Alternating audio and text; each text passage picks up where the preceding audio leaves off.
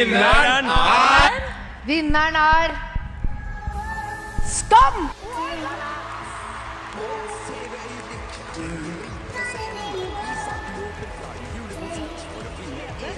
Å si at vinnerne er Henrik Holm og Tarjei Esmo!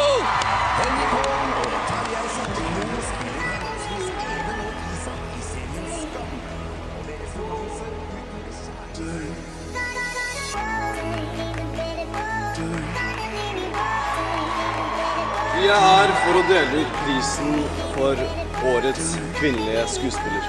Det er en eh, stor ære for oss som nettopp har begynt våre skuespillerkarrierer. Så er du jo mye eldre enn oss og har mye mer erfaring enn oss. Og så tjener de mye mer penger enn oss. Hæ? Mer penger enn oss? Nei, det går jo ikke.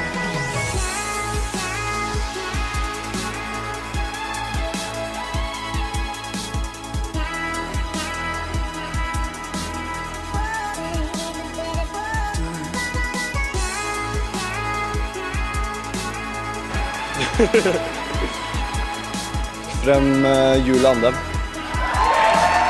Og så tusen takk til eh, publikum da, som har stemt. Det er jo dritfett.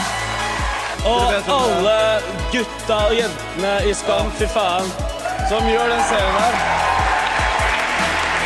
Og unnskyld for at jeg banner så mye. Tusen takk. Ha det bra.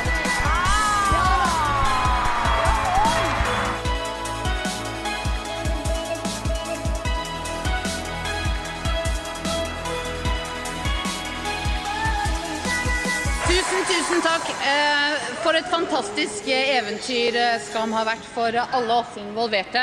Alt er love! Tusen takk!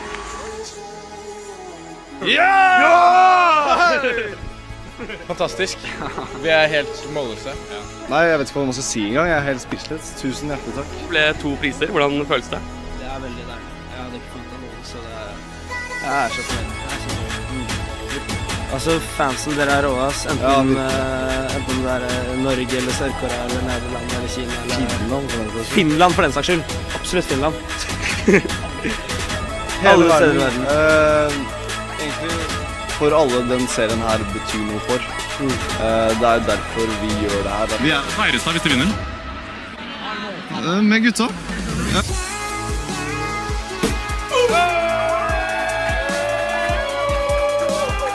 Spør de vanskeligste spørsmålene her.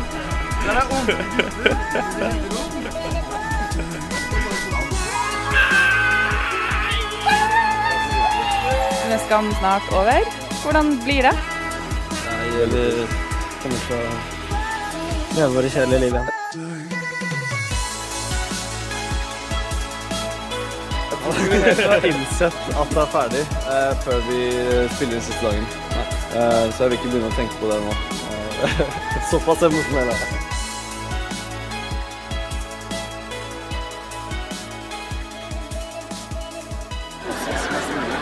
Jobbet hardt sammen. Skal feire.